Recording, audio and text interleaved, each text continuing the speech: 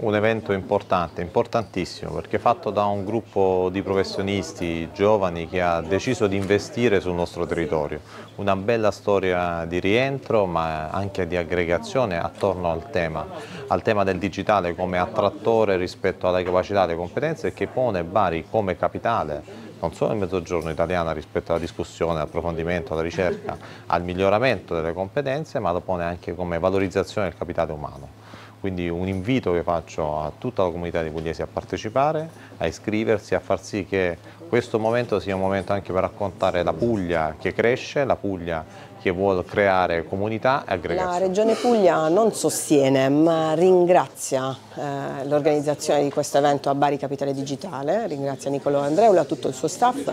gli sponsor eh, privati che sono Fincons, Sidea e NTT Data che hanno voluto eh, testimoniare la loro presenza qui in Puglia eh, una terra che attrae talenti del posto, quelli che sono andati fuori ritornano, ma anche cittadini del mondo eh, che possono trovare qui un progetto eh, di studio, di lavoro molto interessante, ma soprattutto un progetto di vita felice. Ed è questa la ragione per la quale un evento come questo che attira da, uh, veramente da tutta Europa è un momento fondamentale della nostra strategia di attrazione e valorizzazione dei talenti. È importante sottolineare che Bari is open for business, cioè il fatto che Bari è spesso vista come una città dove la gente vuole tornare, dove chi è nato qui e se n'è andato vuole ritornare. Noi proponiamo Bari come una capitale digitale dove la gente vuole arrivare, dove persone da fuori vengano a investire, dove chi non ha neanche mai studiato qui o è venuto solo in vacanza decida di aprire un'azienda, decida di fare smart working anzi south working. Bari è viva, ci sono tante opportunità del digitale e sta a noi coglierle non ci sono più scuse. Il dialogo è fondamentale. C'è una serie di ragazze e ragazzi che hanno molti dubbi se trasferirsi qui, se iniziare a fare impresa,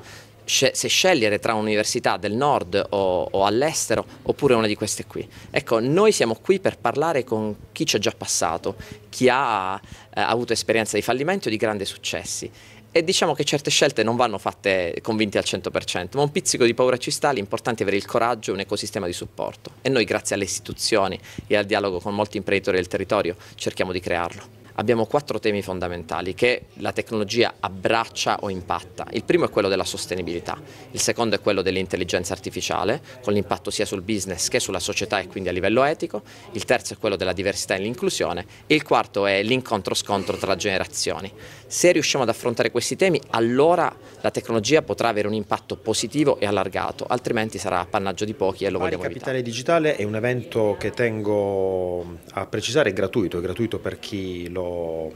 lo,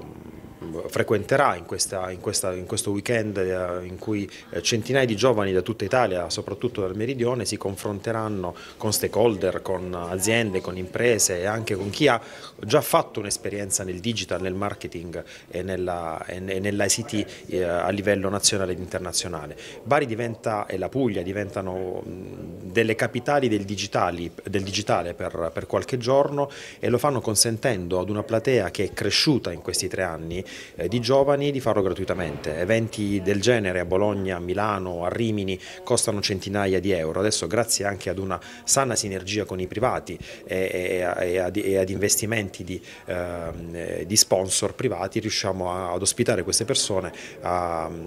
eh, questi ragazzi a livello, a livello gratuito. Quindi noi riusciamo a eh, trasformare anche la narrazione del, del, nostro territorio, della nostra città e, e, a mostrarla al pubblico per quella che è veramente, cioè una città accogliente che non è ehm, ospitalità di maniera, ma è ehm, abbracciare tutti in un momento anche delicato per, eh, per, per, la nostra storia, però lo facciamo con il volto migliore, che sono i nostri ragazzi, i nostri giovani che con competenza, passione ed energia ehm, animeranno questo, eh, questa, questo weekend di studio, di riflessione e anche di spensieratezza.